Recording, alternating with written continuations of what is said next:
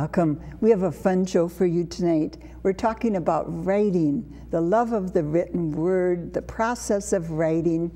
And my guest is an award winning author and writer. Candace Simar is here. She's from Pequot Lakes, drove down for the interview, and she's been on before. Uh, so it's wonderful to have you back, and thank you.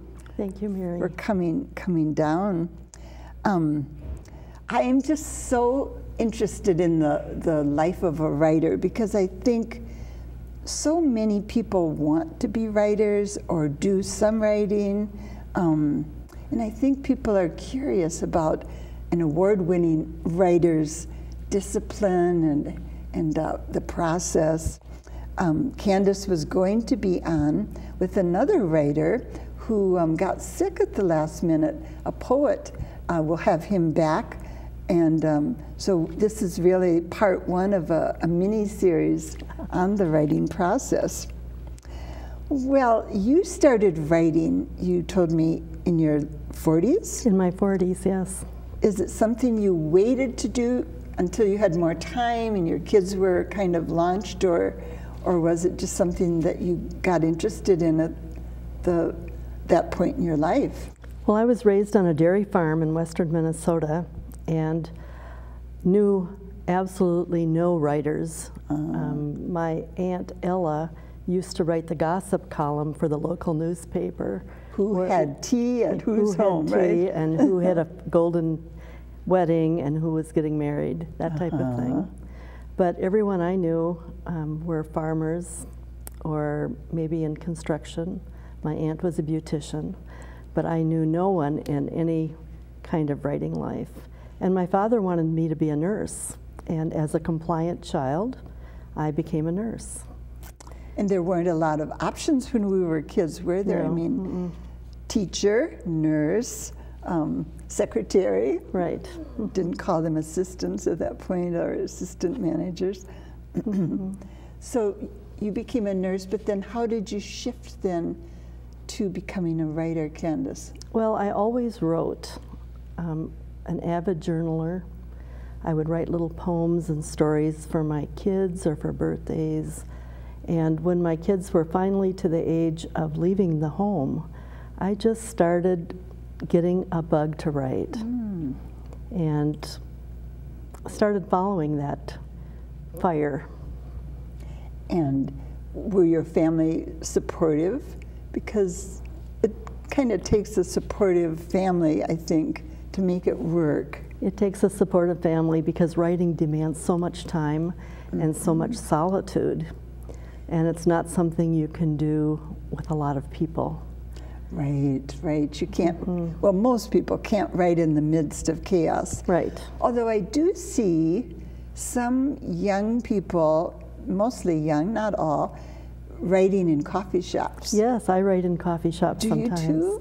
However, it works better if I don't know everyone in the community because then I'm disturbed as well. Not that I'm not happy to see people that I know, sure, but, but um, they can break the concentration right. if they mm -hmm. come up and talk with you, I'm sure. Um, so when you started writing in a more serious way after the children's birthday uh, specials and so forth, did you right away think, think I want to write a novel or fiction? Or how did you? I actually started writing poetry ah. and little um, memoir pieces. Um, there's a very strong poet community in the Brainerd Lakes area, and so I joined a poetry group. And not that I had a strong interest in poetry, but they were writers and they were serious uh -huh. about their work. Uh -huh. And I also joined a local writers group at the college in Brainerd. Mm. And like all the arts, there's this subculture of people interested in yes, it. Yes. And so I, once I got into the network, and that led to um, writing workshops, mm. you know, more serious things. So you reached out and got involved with other right. writers. Mm -hmm. Not everybody does that. -hmm. um, mm-hmm. but to me, that seems like a smart way. Well, it was the only way I could do it. Uh -huh, mm -hmm. To mm-hmm. learn from, from others. And also because I was not trained as a writer, I was trained as a nurse. I began um, seriously attending writing workshops. Mm. And I started by going to the University of Iowa in Iowa City. Which is a very famous, very famous workshop, isn't it? Iowa Summer Writing Festivals, amazing, wonderful opportunities for ordinary people to learn the craft of writing. Are those expensive, Candace? I've never looked um, into them. They're a little spendy once you pay for your lodging and your travel. Right. And it it's add up. You know, I used to take time off of work to go. So it became a passion. It was worth doing, well worth doing. And I also attended the Split Rock workshops mm. through the University of Minnesota. Sadly, they're no longer. Mm, and I, um, I attended a wonderful workshop in Duluth at the university. And I've been out to Taos, New Mexico mm-hmm. and attended some wonderful workshops there, plus many, many others. Um, before we go any further, I want to just hold up your latest book because Candace has written a book that I've been reading this last couple weeks, and it's so enjoyable. Um, and it is called, and I'll, I'll let my cameraman zoom in here, Shelterbelts. Um, and it is a novel, but as you said, you've written both poetry and fiction and what I think you call historical fiction. Right. And we talked about one of your books that fit in that genre um, earlier, but this is, is fiction. Yes. Although it is so true to life in rural Minnesota. Yes. That as I read it, I thought, you nailed the habits, the culture, the people. Um, it's it's really, in a way, it's historical non. It's historical fiction, isn't it? Yes, um, it's more than 50 years old. It takes place in 1945, right at the end of World War II, about the time my parents married, and I, I have lost both my parents. This book was a tribute to their lives and the way it might have been. Oh. And you know, I um, grew up in this little Scandinavian community, western Minnesota, Otter Tail County, where everyone was white and Lutheran and very, um, almost a rigid social structure. And I never really thought that much of it until now in later years. I think that was really unique. It was a wonderful culture in many ways. And I wanted to get it down in a story form so people could understand what it was like. It is unique. I mean, I've lived in many parts of the country mm -hmm. um, and traveled quite a lot, and it is a very unique culture, the rural mm -hmm. Scandinavian culture. Yes. Um, do you want to read a, a paragraph or two from the book to maybe give you a feel for it? Um, and we haven't talked about what section you're reading, but uh, what are you going to to read? People ask me about the word shelter belts. Yes. And shelter belts is another name for a grove of trees planted specifically to prevent erosion and to stop snow from blowing across roads, that type of thing. And I love the word shelter belts because it's a metaphor for rural communities in so many ways. As the trees protected the farmers and the land, the farmers protected each other. And I like to think that when a woman marries a farmer, she also marries their neighbors because mm -hmm. no one is moving away and you learn to get along with them. So they become a big family, don't yes, they? Yes, in mm -hmm. some ways. Mm -hmm. So um, in my story, um, Tia is the main character, and she takes care of the farm when her brother goes to war. And her brother Norman. Her right? brother Norman. Mm -hmm. Norman had planted the struggling row of Chinese elms and balsam firs into a much needed shelter belts along the driveway. Somehow, Tia kept most of them alive through the dry years, hauling water to the surviving trees. She often walked among them in the evening, pulling the weeds around the saplings, willing them to survive. She thought of them as a hedge against all the bad things that might happen not just the whirling snowdrifts of winter. She checked the chicks one final time. They snuggled under the heater, a mass of fluffy potential. She crossed the cow yard, stepping from one hummock to another, pausing to check the gate lest the young stock escape. All quiet in the pig house. The horses stood sleeping in the pasture. An owl swooped down upon a mouse in the grass with a whoosh of wings that startled her into slipping off a hummock into the black mud. The Hanson place blazed electric lights in both levels of the house. She imagined them listening to the radio and making plans for the wedding. Maybe they would mention Norman. She doubted they would think of her. She turned her face toward their little house on the hill and started home. No light showed in the windows. That's a great section to read. Um, I, I finished the book last night, and at the end, I felt so good about the uh, ending, and that made me feel you really did bring the characters uh, home for me as a reader. Um, when you write a book, you said it was hard work. It's very hard work. And I don't think most people know that. I was married to a man who died, but he was a, a writer of nonfiction. And I saw how hard writing was. And I do some writing, and I realize it's hard. And yet, people who don't write at all, I don't think, see that. What's the hard part for you? I just read this wonderful quote about writing, and it said that the hard part is starting and not stopping.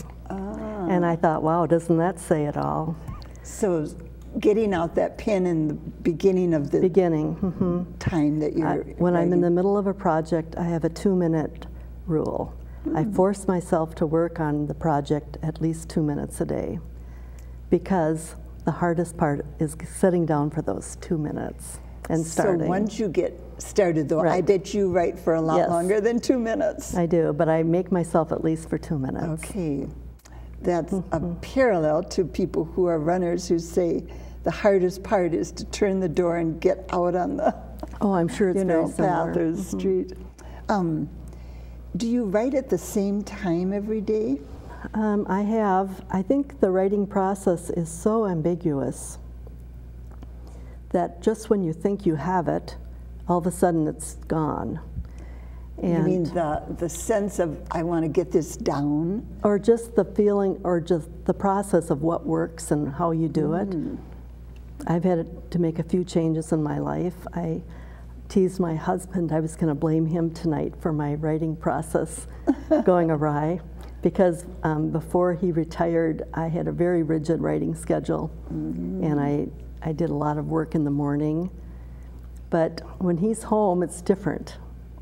You don't have that sense of space or I don't think it's his problem. Space. I think it's my problem. Right, right. because it, it's more fun to go have coffee with him or find out what he's doing for the day. So you have to discipline yourself right. harder. Mm -hmm. And since he's retired, I've started going to a monastery to write. You mentioned that. Um, I became acquainted with Benedictine nuns, and I traveled to Bismarck, North Dakota quite often to spend a week or two um, just diligently writing, and that really helps me through the rough spots.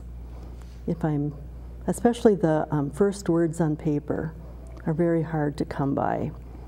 And very important. And though, very important. Mm -hmm. This is the best of times, the worst right. of times, you know, that kind of And I find the monastery model. very conducive to writing. Um, they have a very tight schedule. They um, eat at the same time. They pray at the same time. They have blocks of space where they work and they do their thing. And I just fit into the schedule. And I love it. And it's been very um, wonderful for me. When you think about how long it takes to write a book like this, and how many pages is it? 250, 60 pages. How long would you say, you know, and I guess you've written several. We have mm -hmm. uh, several of your books right mm -hmm. here. How long on average does it take? Um, it takes me probably at least two years. But so. Shelterbelts took me much longer. Mm-hmm. I wrote my first um, chapter in Shelterbelts in 2005, and it published 10 years later. Wow. And I w- worked on it um, off and on. And you were writing other books I was in writing the other work. interim. Why do you think it was a, a long period like that? Well, I was working on my series, and I wanted to finish those. But I went to a workshop, and we had to write a story for the workshop. And it's, it was very difficult to bring a whole novel or a piece of a novel to a workshop. Mm. And so they wanted a complete story. Uh-huh. And so I wrote my first story for Shelterbelts in 2005. And then I went to another workshop later and I had to have another story. And so I wrote it with the same character in mind. And I entered them into some writing contest and won prizes for both of the stories. And That I wrote another one. wasn't it? Yeah, and then I wrote Yes. another one and it won a prize. And a friend encouraged me to put the stories together into a novel. And so I did. And did that become then Birdie? It became Shelterbelts. Oh, oh, oh, that became Shelterbelts. Yes. Okay, because um, I was thinking Birdie, your novel, which we have here too, um, Yes. won the Spur Award. Yes, it did. And that's a, a prestigious award. It's a national award. We'll let people zoom in on this, Mm-hmm. or let people see this more too. Um, it's a national award given to what kind of It was for um, juvenile fiction, and I write about frontier Minnesota, and frontier um, stories are considered part of the Western genre. And I received the award from the Western Writers of America in 2012. So the awards you have gotten Mm-hmm. have to be so um, give you such a rush of adrenaline in a, a sense, right? the awards are wonderful, but what means the most to me is a reader who connects with my characters. Mm. That's the biggest Mm-hmm. award I can receive. And I bet you get people coming up to you all the time telling you that they either identified with the Mm-hmm. character or the character reminded you. So are you more focused on character development than descriptive writing or or even plot, Candace? Yes, I am. I definitely write more character driven. Although when I write historicals, the scaffolding of my work becomes the history. And I love history. I've always been a little geeky that way, and it's coming into play now. Who knew? Yes, I'm sure that you've got to be fact checking with, Mm-hmm. Yes, with the I do a writing lot I've of read research. of yours Mm-hmm. because there's so much history woven in. Right. Um, even things that might not be technically history, but that tie into history. Yes, the culture right, and the, the um, cultural specific the things. music, the fads, the issues of the day. Has your style changed much since, you know, the, well, I guess, what, has it been 15 years that you've been writing? Um, yes, about. About 15. Has it changed much? Yes, I'm still learning. I have more to learn. Um, I think that's the fun of writing. It's a lifelong sport, Yes, you And can very- keep doing it. and very few people ever get to the point where they say they've learned it all. And Is that right when you talk to other writers? right, Oh, mm-hmm. that's interesting. There's always That's kind more. of a humble approach, mm-hmm. isn't it, when you think about it? Mm-hmm. Because I don't think most people in the world of finance or politics or entertainment would say that. That's interesting. yes, there's always more to learn. What's the best advice you've ever gotten from a fellow writer? Well, um, there's two ways to look at it. I was told early on to write what you know, and I certainly do that with my culture, my Yes. Scandinavian culture. Shelter belts was certainly Yes. that. But I also heard someone say, write what you want to know. Hmm. And so maybe the best advice is a combination of those two things, which seem opposite. To really delve into the history, which is such a delight and pleasure for me, and then to dig deeper into the history. When I started writing my pioneer books, I felt I knew a lot about the Great Sioux Uprising of 1862. and that I knew a lot about Minnesota history. I was really um, surprised at how little I knew as I did my research and dug into the layers and layers and all the complex issues. And that was quite an education. The book that I read of the series, Pomme de Terre, am I pronouncing it correctly? Yes. Mm-hmm. Told about the 1862 war from point of view of the Indian families and the white settlers, and it certainly was packed with mm-hmm. detail and learning yes. of, of, our history. Um, it was a great book. Um, when you uh, and I were talking earlier, you said you're doing poetry, yes. writing too. Mm-hmm. Is that something you find easier or harder than, than fiction writing? Well, poetry is certainly not easy. Um, it's distilling a thought down to the bare bones of mm-hmm. words. And I don't claim to be a great poet. Um, but there is something very satisfying about writing a poem that um, really communicates your heart. And I love that when it happens. And do you write poetry much? I mean, are you, I, I don't know how you have time to write as much as you do. I usually write poetry in the car. When oh. I'm driving oh. alone, poetry will come to me in the car. Ah. So. And then how do you, how do you, um, do, do you uh, pull over and jot down ideas? Sometimes, or? sometimes. Yeah. Mm -hmm. um, you know, some people have a little microphone they can talk into or talk into their phone nowadays. Mm -hmm. I have a good friend who's a poet, and um, she, it seems, writes kind of just inspiration hits her and she right. writes. Is that true for you with poetry Probably. too? Probably more for poetry. The other writing, I can do it if I can get myself to focus. But How poetry, about, I have to be inspired. Okay, so that is more the mm -hmm. emotional Probably. kind of writing. I remember um, hearing Judith Guest talk with me on, on during an interview about writing ordinary people, and she said that she just struggled with the dialogue. Mm -hmm. She said I would say to myself, if he says this, what, what would she say? And she said, it was almost like pulling teeth. Mm -hmm. And I was so surprised because I just didn't expect it would be that hard. It's hard because but the dialogue is agreeing. different. Uh -huh. um, we don't, the dialogue in a book really cannot be how people speak because we have so many fillers, we repeat mm. ourselves, we, we do all kinds of um, things that do not work in, Little in the tangents. written page. yes. It has to be very succinct, unique, and cannot repeat. That's a very interesting mm -hmm. point. I've never heard a writer say that, but mm -hmm. you're right. If I think about my conversations, it would be, it wouldn't work to just write them down. Right. Um, oh, that's very, yeah, that's, that's an important differentiation. And I do keep a list of unique um, phrasing and um, dialogue that I've heard and try to use it in my oh, work. Okay. So you'll you'll refer to that and say, yes. can I fit that in here or mm -hmm. fit that in there? Um, we've just got a few minutes left.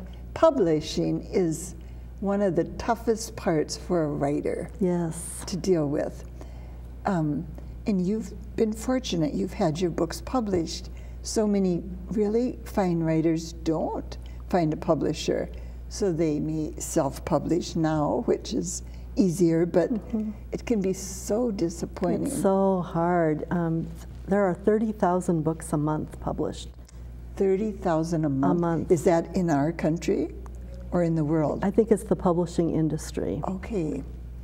Wow. But um, with the onset of PCs, it's much easier for everyone, anyone who wants to can write a book, and then with self-publishing options. Um, so the market is glutted with books. So if you are lucky enough to be published, it's usually on your shoulders to push the book, isn't it? yes. it? Yes. I published with North Star Press of St. Cloud, a very um, wonderful family run business that have been in business for almost 50 years. Mm. um, mother daughter business, and they've done a great job for me. But as a small press, they do not do a lot of marketing. They do what they can. And the big, um, the big companies don't do a lot of marketing. No. I mean, they choose like eight or ten books, right. and the others are on their own. Right. I know my husband found that out, and so that's that's one of the hard realities of the life of a writer. So I tend to do a lot of public speaking. I speak to a lot of civic groups, historical groups, Scandinavian groups, schools, and do book talks and go around and market my books. Come on my show. And come on your show, yes. Um, I want to give you a website, so if you want to learn more about Candace Simar's work, you can. Uh, it's www.candacesimar.com. And again, Shelterbelts is the name of the book. We'll get one more quick peek at it here. And your other books, too, are still yes. available. Mm -hmm. Can people write to Amazon and get them, or um, I sell them way? right off my website. Oh, They're okay. also available on Amazon. They're in ebooks. They're in audiobooks. Okay. And um, they're still um, selling well, actually. That is that is great. Um, you'll see the books titled uh, on your website. Well, thank you so much for coming down, and best of luck with with all of these books. Thank you for being with us. We'll be back again next week. Until then, have a good week.